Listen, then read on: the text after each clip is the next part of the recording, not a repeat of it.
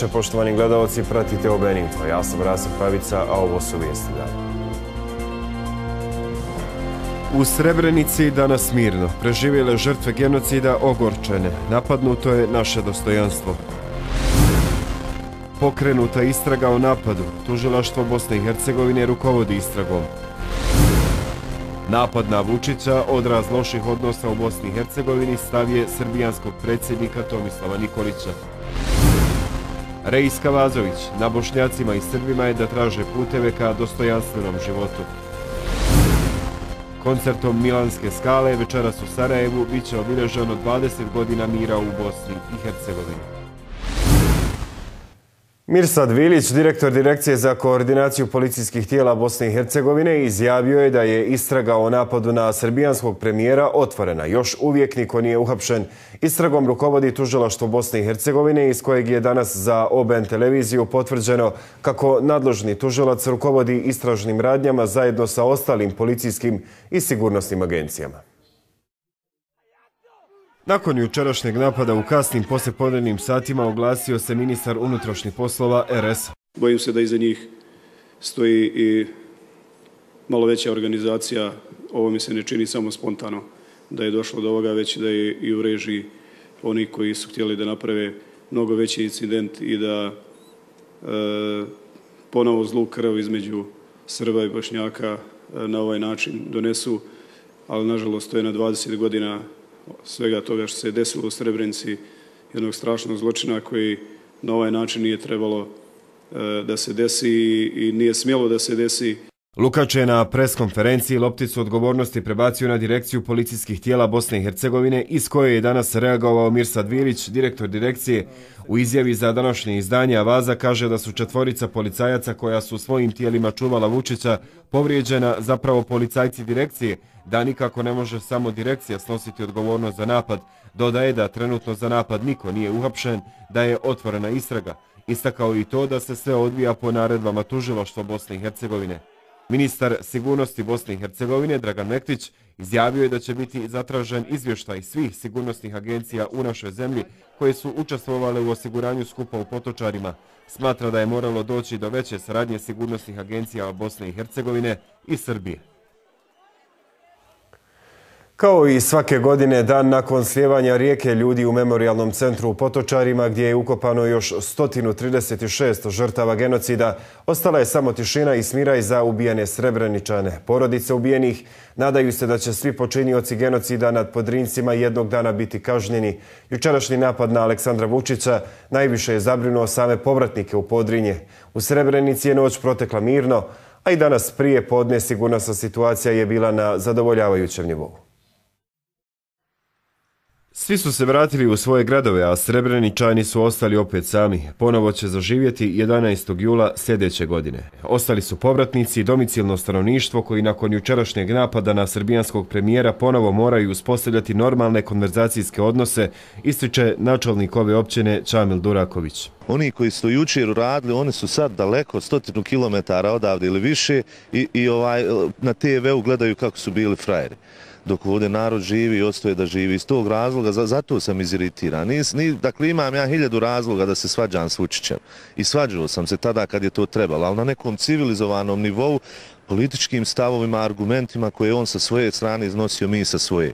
Jedan od nauka za Durakovića kao predsjednika organizacijonog odbora obilježavanja srebreničkog genocida jeste da u buduće neće biti transparenata na džanazi donositi svoje reklame, da iskoristi ono što mi ovdje organiziramo i da napravi ovo što je napravi zasjedni naše žrtve, to više neće moći. Pa tamo da dole dođe sto ljudi da dostojanstveno klanja dženaza. Ako treba, uzet ćemo našeg lokalnog imama i stotinu srebrenčana, doćemo dostojanstveno klanjati dženazu našim ovaj, žrtvama i tako ćemo od sad to rati, ako, ako, ako ovo bude ovako ko što je.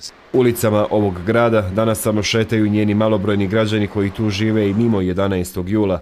Oni su tu i kada svi ostale zaborave ovaj grad, simbol stradanja jednog naroda, pokušavaju unaprijediti mir i suživot koji im je potreban nakon što su odlučili zajedno živjeti u ovom gradu. Oni najbolje znaju kako je njima u gradu u kojem većinom žive stari osobe, u kojem nema pekare, mesnice, mjesta za mlade, ali ni fabrika u kojima bi mladi našli zaposlenje, ističe Duraković, te dodaje da je suštinska poruka pružiti ruku pomirenja. Niko nije za rat, onda je mir bez alternative. E hajmo onda miriti se, pružati ruke jednim drugima da bi bolje bilo našoj djeci. To je suštinska poruka, zaključio je Duraković. A kao znak mira i nade u bolje sutra za buduće mlade naroštaje, jučer je srbijanskom premijeru zakačen cvijet Srebrenice. Upravo ovaj čin je po ocjeni mnogih bio najbolja slika i poruka koja se u cilju pomirenja mogla poslati iz kompleksa Memorialnog centra Potočari. Hatidža Mehmedović, Srebreničanka, majka koja je jučer u ime mira ovaj simbol srebreničkog genocida i stradanja zakačila za reversa koja Vučića, danas je još jednom za OBN Info istakla potrebu da se tenzije koje su očite smire jer za dobro budućih generacija treba promišljati mirno i dostojanstveno, gradeći mostove među ljudima. 11. juli je najteži mjesec, u, nije samo nekome, nego svakome čovjeku, da li on kopo ili je ukopo ili čeka da ukopa ili nije mu niko ubijen u genocidu u Srebrenici. Ali E, mi džaba je bez, svega, bez obzira na sve to što je se desilo, Mi znamo da koji su krivi treba da odgovaraju, trebamo da nađemo naše najmilije, ali isto tako mi moramo da živimo i moramo da, da radimo na tome kako bi bilo bolje sutra za, za one generacije koje nisu rođene i koje će se roditi, da imaju bolju, gurniju budućnost, da ne strahuju od svog života i života svoje djece i, i svojih unučadi. I na tome treba raditi. A onaj skandal juče koji je on se nije smio desiti bar na onome svetom mjestu, jer ipak memorialni je centar naše svetom mjesto, naše hodočašće, naša tuga, ali samota je oni koji su i počinila i oni koji su da sprijeće da se ne počini. A oni koji dođu da odaju poča žrtvama genocida, zaista to nije se smjelo desiti i nije, to su osobe koje ne žive u Srebrenci, koji nisu iz Srebrenice i koji nisu povratnici. Čak čujem da nisu čak ni iz Bosne i Hercegovine.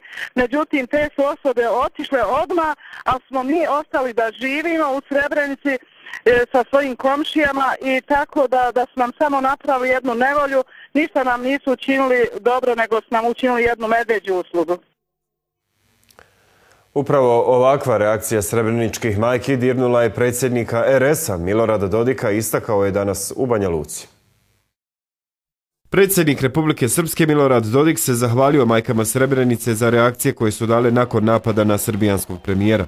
Ono što je važno reći i što me posebno na neki način i, i dirnulo, to je reakcija majke Srebrenice koje su rekle to što su rekli u saopštenju nakon i to je pravi odgovor na kraju njihov bol e, koji su oni doživjeli e, ne može da zamijene nikakva kvalifikacija tog događaja. Oni su naprosto izgubili najmilije kao i mnoge druge majke i mnogi drugi ljudi, braće i sestre koji su na svim stranama stradali. Nema nama druge do razgovarati jedni sa drugima, stavo je Dodik. Bosnu možemo da napravimo samo kao i upakujemo samo kao zajedničku zemlju dovoljno komotnu za sve.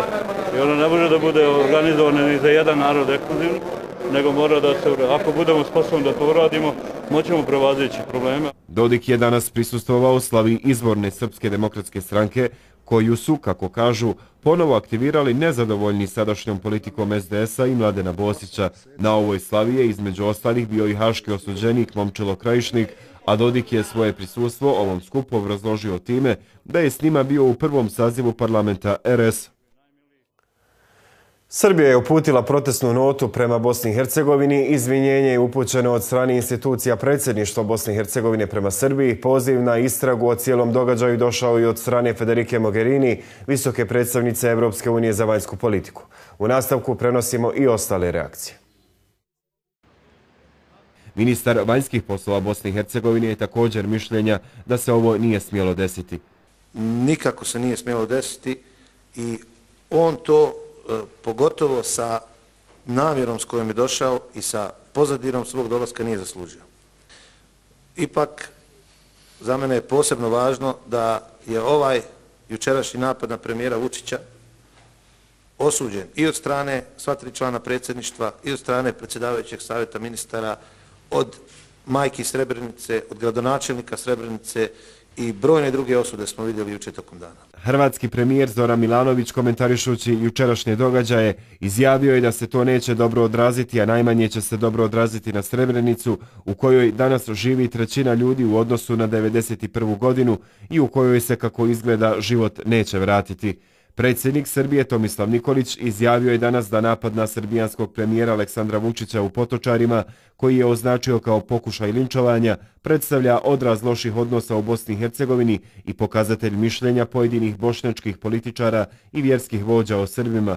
Predsjednik Srbije ističe dalje da Srbija svoj stav prema drugim narodima i državama neće da mijenja, te da će on ostati prijateljski. Jasnog stava je i bivši američki predsjednik koji je na komemoraciji istakao da iz dubine srca voli ovo mjesto. Odgovorio je i na novinarska pitanja u vezi sa napadom na Vučića. If he had come in a little later after the service started, or if he had only gone to the other service. Ambasada Sjedinjenih američkih država u Bosni i Hercegovini osudila je napad na premijera Srbije Aleksandra Vučića. Služenjem parastosa kod spomen Kosturnice stradalima u dva protekla rata na zalazju kod Srebrenice prisluživanjem svijeća za pokoj duša 69 poginulih na današnji dan 1992. godine i polaganjem cvijeća na spomen obilježe danas su obilježene 23 godine od stradanja Srba u Srebreničkoj općini na Petrovdan. Predsjednik odbora za obilježavanje stradanje srpskog naroda Srebrenice Miloš Milovanović rekao je da su Srbi u Srebreničkoj općini masovno stradali od 1992. do 1995. godine i da zbog toga još niko nije odgovarao. Pa evo danas e, završavaju e, manifestacija Petrovdanski dan, čiji je slogan 23 godine zločina bez kazne. To je posvećeno stradanju srpskog naroda na Petrovdan 1992. godine u Biljači, Sasama, Zalazu i Zagonima, gdje je za jedan dan zvjerski ubijeno 69 srpskih eh, civila i boraca. I šef misije OSE u Bosni i Hercegovini, Jonathan Moore, je bio na zalazju, ali i jutro prisustvao bogosluženju u Srebreničkoj crkvi pokrova presvete bogorodice. Žrtve su žrtve, ma na kojoj strani one bile i u duhu mira i suživota moramo prestati sa dvije vrste poricanja. Prvo je poricanje genocida, a drugo poricanje suživota, kazao je Moore jutros kod Srebreničke crkve.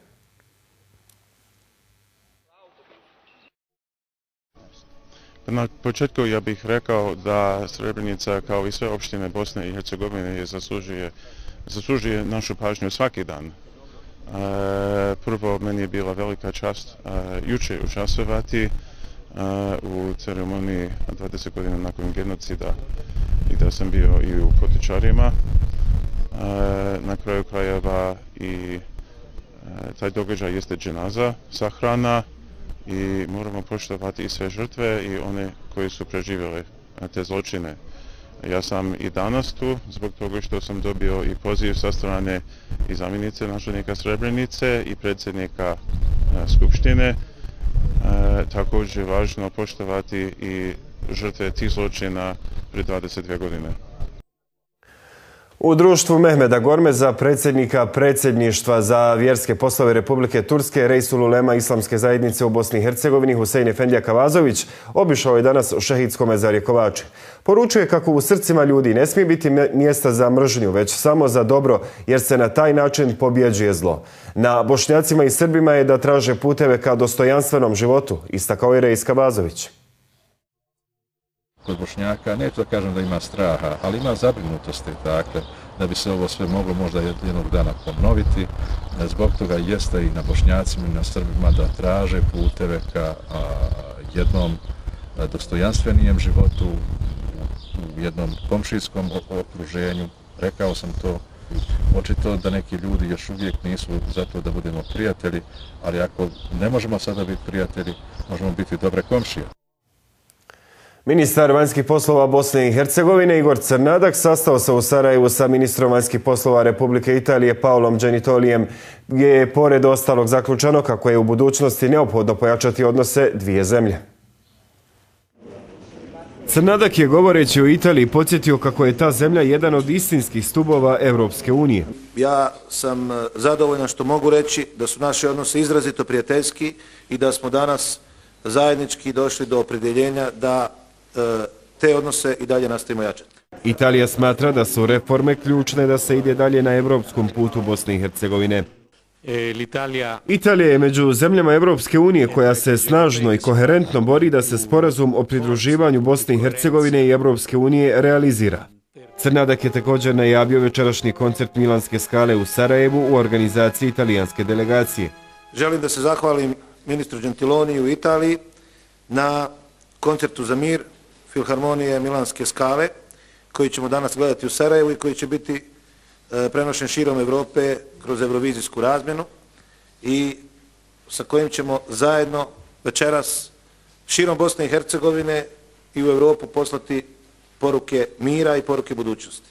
Kako je istakao Crnadak, ovo će biti izuzetno važan kulturni događaj kojem će osim političkih prisustovati i religijske komponente.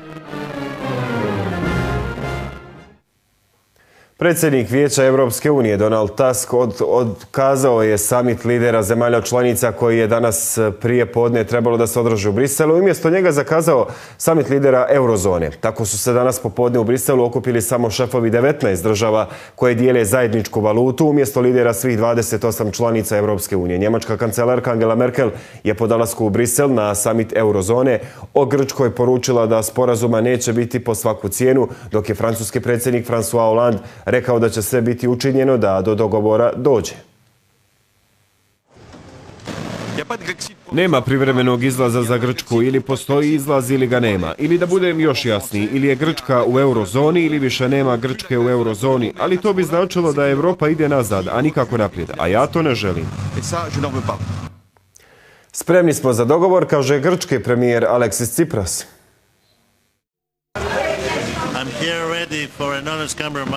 Ovdje sam i spreman za iskren kompromis. Dugujemo to narodu Evrope koji želi ujedinjenu Evropu, a ne rastavljenu. Možemo postići dogovor večeras ako to sve strane žele. I za kraju vremenu sutra u većem dijelu zemlje nestabilno vrijeme. Od sredine dana prema večernim satima jači razvoj oblačnosti će usloviti pljuskove i grmljavinu. Padavine se ne očekuju na jugu Hercegovine. Najniža jutarnja temperatura zraka većinom između 12 i 17, na jugu do 22. Najviša dnevna temperatura zraka uglavnom između 25 i 29, a na jugu do 35 stepeni. Pratili ste OBN Info, u nastavku slijedi OBN Sport. Dežurna ekipa želi vam ugodan ostatak nedeljne večeri. Hvala za pažnju i doviđenje.